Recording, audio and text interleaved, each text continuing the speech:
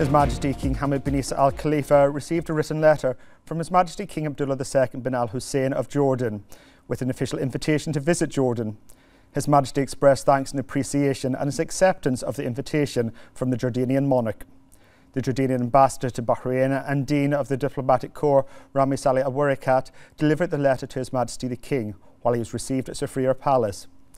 His Majesty the King hailed historical ties and deep-rooted relations between the two kingdoms and the level of cooperation, coordination and joint action they reached in all fields to achieve the common interests and aspirations of further progress and growth.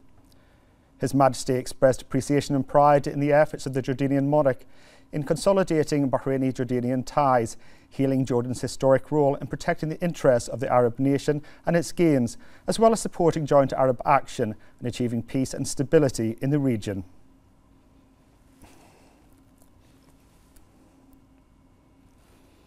His Majesty King Hamad bin Isa Al Khalifa issued Royal Decree 18 of 2024, naming the administrative body and minister responsible for implementing the provisions of Law 22 of 2006 on the protection of copyright and related rights, based on a proposal of the Prime Minister and following the approval of the Cabinet. Article 1 stipulates that the Ministry of Information is the administrative authority responsible for implementing the provisions of Law 22 of 2006 and the Minister of Information shall be responsible for implementing the law.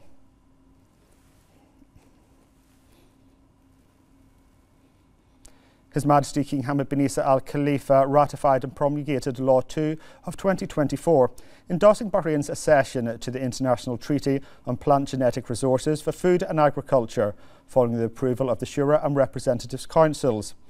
Article 1 stipulates that it has been approved that Bahrain accedes to the International Treaty on Plant Genetic Resources for Food and Agriculture, which was adopted by the 31st session of the Conference of the Food and Agriculture Organization of the United Nations, held in Rome on November 2, 2001, which is attached to this law.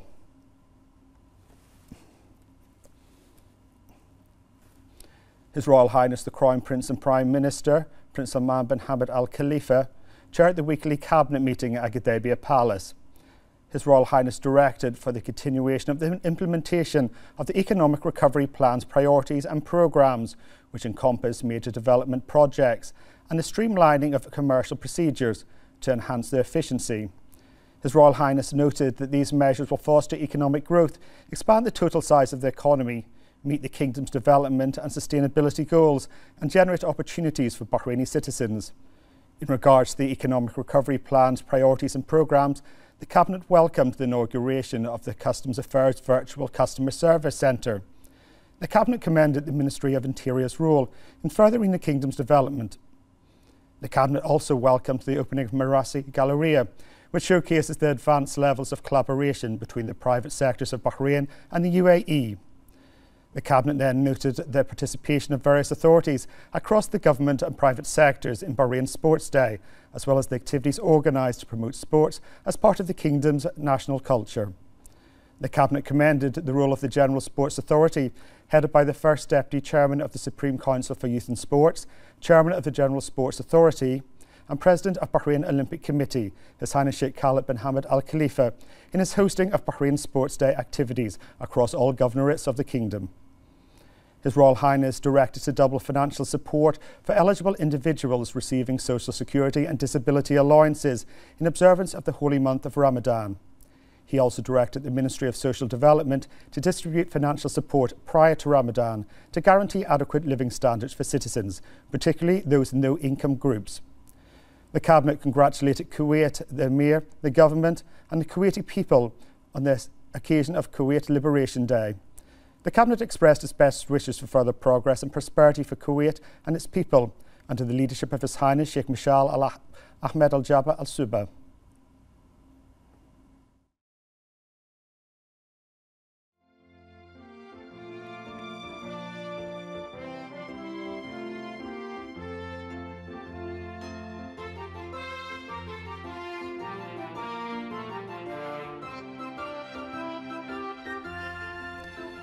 The Cabinet then approved the following a memorandum submitted by the Ministerial Committee for Legal and Legislative Affairs regarding a draft law ratifying an agreement to attract and protect investment between the governments of the Kingdom of Bahrain and the Hong Kong Special Administrative Region of the People's Republic of China.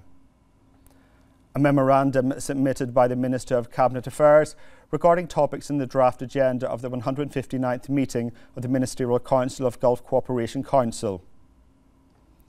memorandum submitted by the Minister of Housing and Urban Planning regarding the acquisition of several properties for the public benefit of urban development. And a memorandum submitted by the Ministerial Committee for Legal and Legislative Affairs and the Government's response to four proposals and a law proposal submitted by the Council of Representatives. The Cabinet then reviewed a memorandum submitted by the Minister of Housing and Urban Planning regarding the progress of the third edition of the Housing Finance Exhibition and the launch of the updated version of the Baiti Real Estate platform. This updated version includes 10,000 properties valued at over 1.07 billion Bahraini dinars in total. In addition, the Cabinet noted the following ministerial reports. Outcomes of the visits of Minister of Justice, Islamic Affairs and Waqf to the United Kingdom outcomes of the participation in the eighth meeting of ministers responsible for tourism in the Gulf Cooperation Council, outcomes of the participation in the Saudi Media Forum 2024, declaring Muharraq as a member of the UNESCO Global Network of Learning Cities 2024. Report of the Minister of Cabinet Affairs on external participations of various ministers and visits of foreign delegations to the Kingdom of Bahrain in March.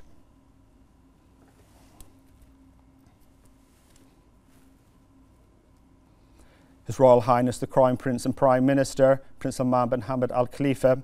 met with the Speaker of the Representative Council, Ahmed bin Sal Salman Al Musallam, and the Chairman of the Shura Council, Ali bin Saleh Al Saleh, and the Shura and Representative Council deputies and the heads of committees at Gudaibiya Palace. His Royal Highness emphasised the directives and visions of His Majesty King Hamad bin Isa Al Khalifa serve as a guide for government work streams. His Royal Highness Prince Salman bin Hamad noted that the government, in line with His Majesty the King's directives and principles outlined in the National Action Charter, Bahrain Economic Vision 2030, and the government programme is committed to forging paths for progress across all sectors, and particularly the private sector, which plays a pivotal role in driving economic growth. His Royal Highness highlighted that dedicated efforts continue to bolster strategies and economic priorities aimed at attracting investments, fostering economic growth, enhancing creativity, innovation, and entrepreneurship, and expanding the economy to achieve desired goals. His Royal Highness Prince Salman bin Hamad underscored the efforts to establish a better present and a prosperous future for the kingdom and its citizens are at the forefront of the kingdom's interests. His Royal Highness the Crown Prince and Prime Minister emphasised the importance of coordination across all sectors to strengthen the kingdom's national economy, positioning Bahrain as a model for others. His Royal Highness highlighted the importance of continuing collaborative efforts between the legislative authority and the private sector to achieve the Kingdom's comprehensive development goals to benefit all. His Royal Highness noted that sustainable development requires the continuation of efforts to safeguard regional and international peace and are among the Kingdom's key principles. The Representative Council Speaker the chairman of the Shura Council, and the chairman of the Bahrain Chamber of Commerce, Samir Abdullah Nas, expressed their gratitude to His Royal Highness the Crown Prince and Prime Minister for his unwavering support in fostering collaboration and integration between the executive and legislative authorities, reaffirming His Royal Highness's commitment to achieving the Kingdom's development objectives for the benefit of Bahraini citizens. The Speaker of the Representative Council and the Chairman of the Shura Council affirmed that ongoing efforts are being made to achieve the Kingdom's aspirations. The Deputy Prime Minister, Sheikh Khalid bin Abdullah Al Khalifa, the Minister of Finance and National Economy, Sheikh Salman bin Khalifa Al Khalifa, the Chairman of the Bahrain Chamber of Commerce, Samir Abdullah Nas, and a number of senior officials also attended the meeting.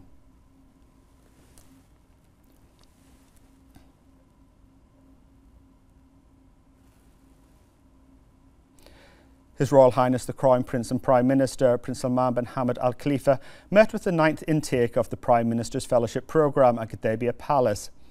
His Royal Highness emphasised the Kingdom of Bahrain's commitment to invest in the national workforce and promote development, creativity and innovation in order to achieve the Kingdom's comprehensive development goals, led by His Majesty King Hamad bin Isa Al Khalifa.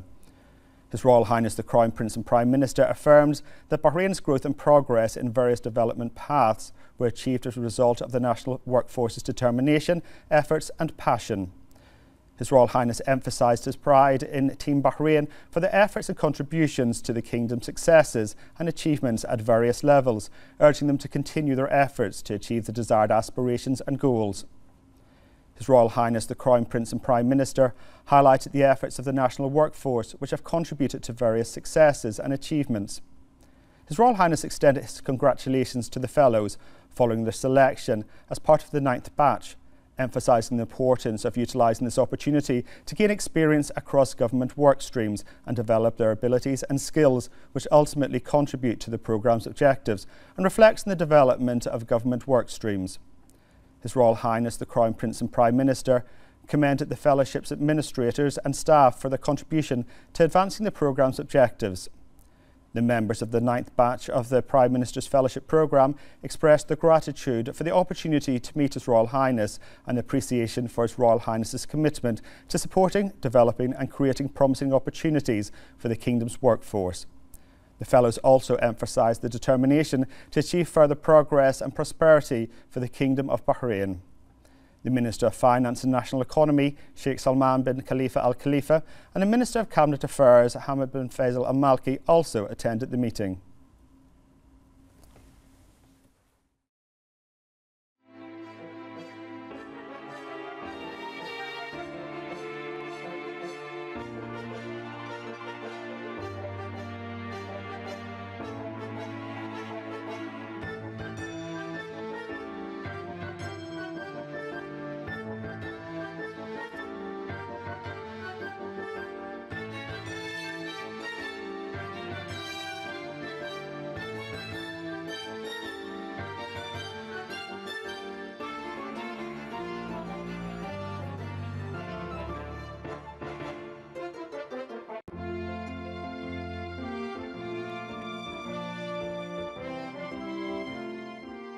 A prominent initiative and a cornerstone for the advancement of government cadres in the Kingdom of Bahrain. Past and future fellows work in the spirit of one team, Team Bahrain,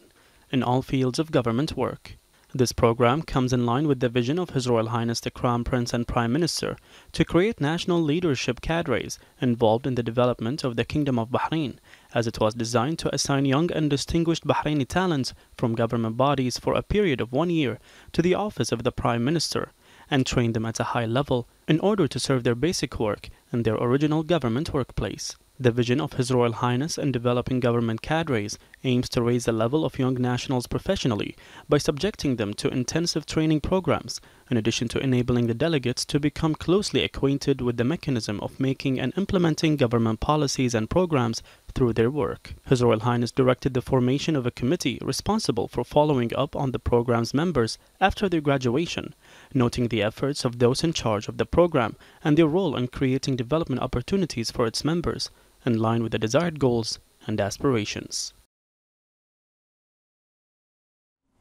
Under the patronage of His Majesty King Hamad bin Isa Al Khalifa, the Supreme Commander of the Armed Forces, His Majesty deputised the National Security Advisor and Commander of the Royal Guard Lieutenant General, His Highness Sheikh Nasser bin Hamad Al Khalifa, to attend the inauguration ceremony of the Professional Institution for Maintenance, Training and Manufacturing Development in the presence of the Commander of the Royal Guard Special Forces, Staff Colonel His Highness Sheikh Khalid bin Hamad Al Khalifa, coinciding with the 56th anniversary of the establishment of the BDF. Upon arrival, His Highness Sheikh Nasser was received by the Chief of Staff, Lieutenant General Thiab bin Saqr Al Nuaimi, and senior BDF officers. The ceremony began with the royal anthem, followed by recitations of verses from the Holy Quran. The acting director of the institution then delivered a speech in which he thanked His Majesty the King, His Royal Highness the Crown Prince, Deputy Supreme Commander of the Armed Forces and Prime Minister, Prince Salman bin Hamad Al Khalifa, the BDF Commander in Chief, Field Marshal Sheikh Khalifa bin Ahmed Al Khalifa, and His Highness Sheikh Nasser. A commemorative gift was then presented to His Highness Sheikh Nasser and His Highness Sheikh Khalid. His Highness Sheikh Nasser then unveiled the commemorative plaque marking the opening of the facility. His Highness then toured the facility and was briefed on its modern ins inspection, maintenance and development techniques. Sheikh Nasser stated that the institution will be a qualitative addition to the BDF's advanced systems, which embodies the vision of His Majesty the King and the support of His Royal Highness the Crown Prince and Prime Minister. His Highness noted that the institution is considered the first professional institution to develop manufacturing and enhance efforts in the field of inspection and maintenance, adding that these vital projects will raise the efficiency of human resources and the professional level to achieve the desired goals. He hailed the outstanding level of the institution's affiliates, expressing thanks and appreciation for the efforts of the officers, non commissioned officers, and individuals in serving the nation, wishing them all success.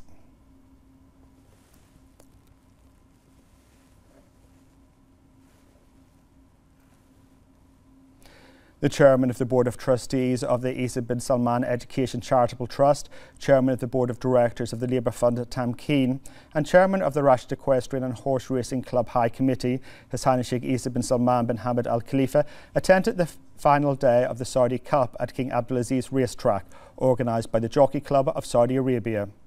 His Highness emphasised the ongoing success of the Saudi Cup, which has garnered attention of its elite horses both regionally and globally. He highlighted the commitment of Bahraini stables to compete in the Saudi Cup to gain valuable experience and contribute to the development and competitiveness of horse racing in Bahrain. His Highness Sheikh Isa bin Salman noted that the participation of Bahraini stables in the Saudi Cup reflects the cooperation of regional and international horse racing clubs, expanding the international participation of Bahraini stables in more races and yielding numerous favourable results. His Highness commended the efforts of the Chairman of the Board of Directors of the Horse Racing Club and Chairman of the Board of Directors of the Supreme Equestrian Authority of Saudi Arabia, His Royal Highness Prince Bandar bin Khalid Al Faisal, and expressed his wishes for Saudi Arabia to achieve further successes and make further achievements in the field of horse racing. His Highness Sheikh Isa bin Salman congratulated the winners of the Saudi Cup and extended his wishes for the continued success. The most notable Bahraini horses in the Saudi Cup were Bailan of Adiyat Racing, which finished third in the race 6 of the 1351 Turf Sprint. Caliph of Victorious, which finished third in race 7 of the Neom Turf Cup over 2100 metres. And Goam, owned by Mohammed Khalid Abdul Rahim, which finished fifth in the International Handicap race.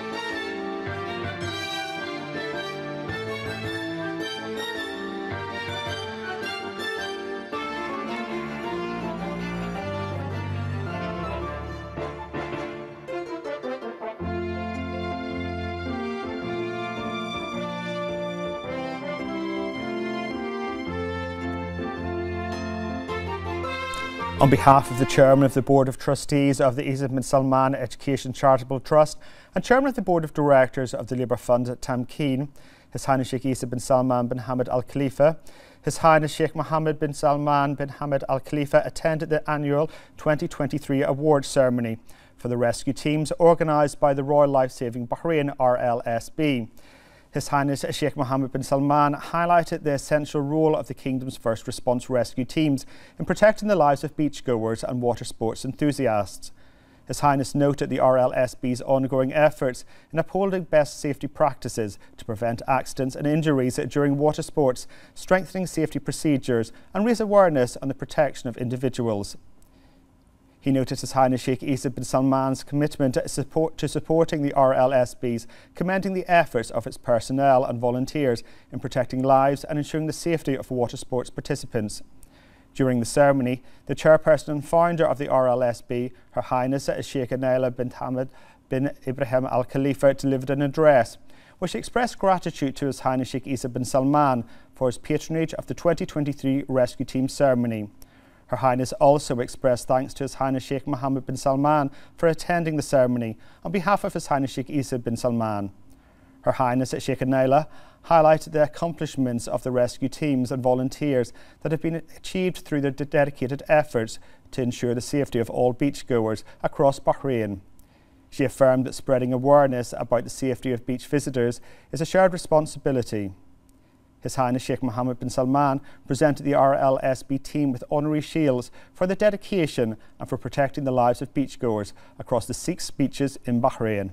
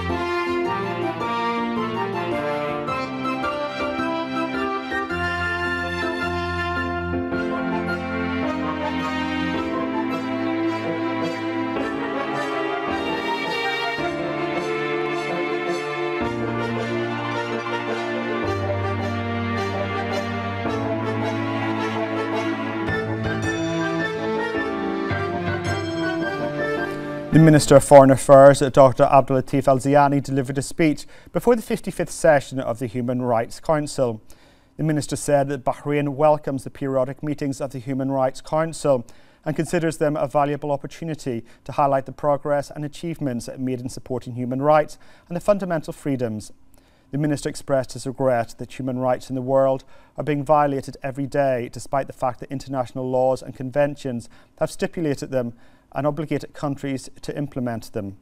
He added that the tragic situation in the Middle East continued for more than decades and has become more apparent due to the horrific scenes in the Gaza Strip due to the devastating war which continued for more than four months and affirms the urgent need for collective action to support and protect human rights for all. The minister stressed that it is not possible to ignore the tragic situation of the people of Gaza, including killing, injuries, orphanage, displacement, deprivation of basic necessities such as food, water, and medicine, the destruction of homes, schools, and hospitals, and the loss of medical care, especially the elderly, women, and children. He said that the looming threat of launching an attack on the city of Rafah before the month of Ramadan as nearly one and a half million people have taken refuge in the city, increases the need to address this humanitarian crisis. He stressed that the right to peace is fundamental to protecting all other human rights, especially the right to life, and without peace it is not possible to preserve the lives and well-being of vulnerable individuals and communities.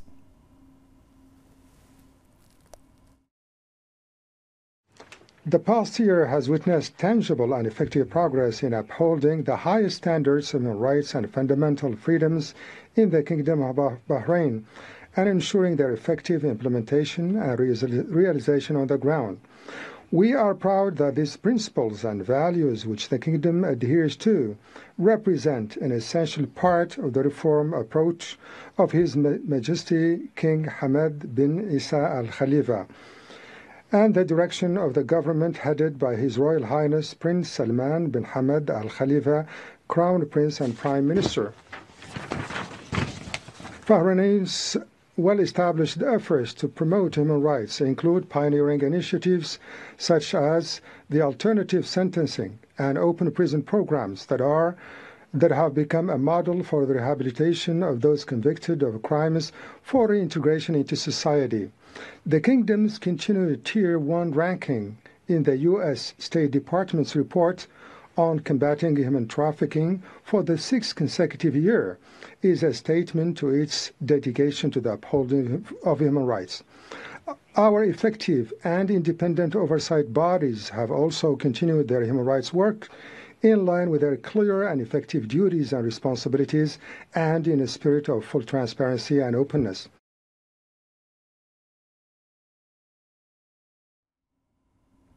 The Minister of Foreign Affairs also affirmed that the Kingdom of Bahrain's continued implementation of its National Human Rights Plan is the cornerstone of the Kingdom's commitment to move forward towards promoting human rights. The Kingdom of Bahrain's continued implementation of its National Human Rights Plan, which outlines the human rights priorities and projects in the Kingdom with clear targets and measurable performance standards is the cornerstone of our commitment to human rights. The National Plan for Human Rights underlined the importance of solidarity rights, especially the promotion of the values of tolerance and coexistence, which the Kingdom of Bahrain has pioneered by launching many major initiatives to promote a culture of peace, dialogue, coexistence and understanding between religions, beliefs, countries, and people.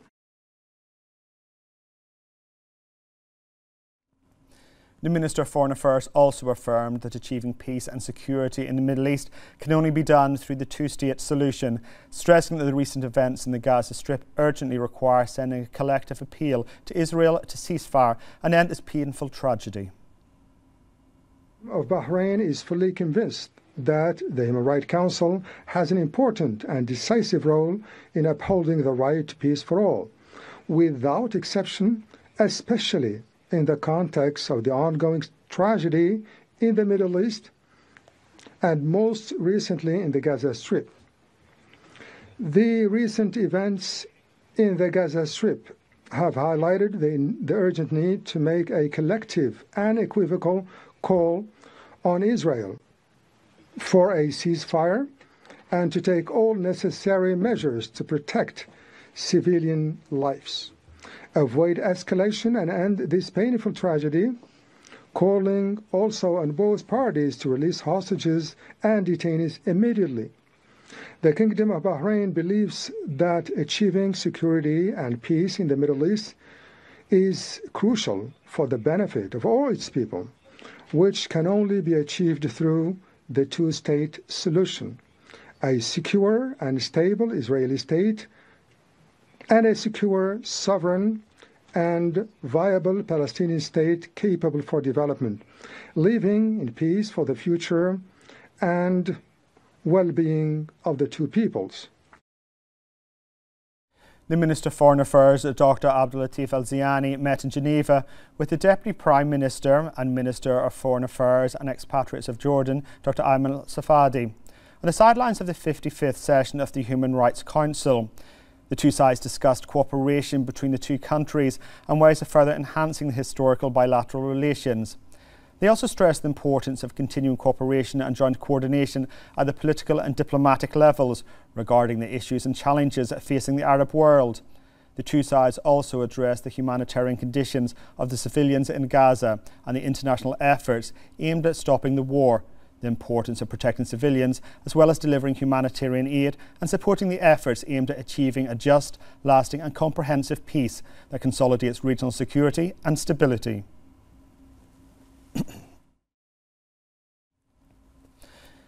The Institute of Public Administration launched a programme for preparing Bahraini cadres for external participations in the presence of the Japanese ambassador to Bahrain, Okai Osako, and Bahrain's ambassador to Japan, Ahmed Al Dosari.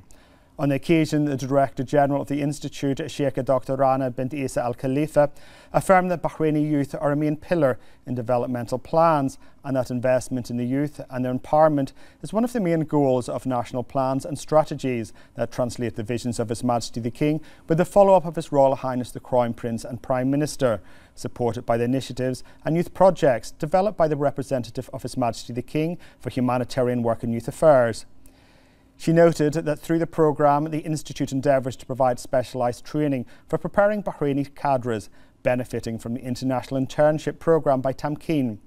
Sheikh Dr. Rana added that the programme aims to qualify and prepare participants through interactive training units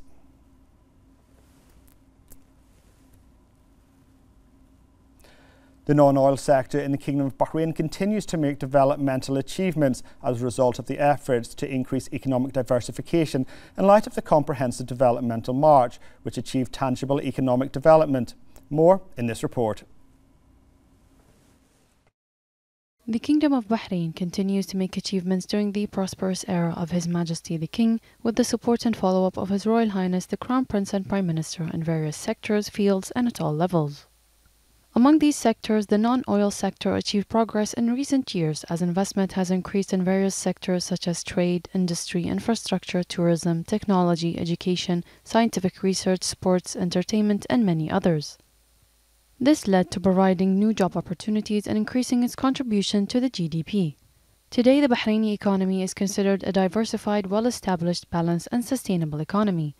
In the past few years, many goals have been achieved before their specified dates, which indicates the efficiency and quality of implementation. Among the sectors that have witnessed significant development are the financial projects sector, tourism and trade, in addition to real estate activities and business services, which have become one of the most important tributaries of the non-oil economy. This strong recovery comes in conjunction with the directives of His Royal Highness the Crown Prince and Prime Minister to begin conducting consultations to formulate Bahrain's Economic Vision 2050, which reflects the benefit gained from the plan and its role in accelerating economic recovery in the kingdom. As a result of the continuous efforts to increase economic diversification, the local economy is expanding into the non-oil sectors, as its contribution to the GDP at fixed prices reached 83.6% during the third quarter of 2023. The financial projects sector continued to lead for the fourth time in a row as its contributions to the GDP at fixed prices is estimated at 18.1%.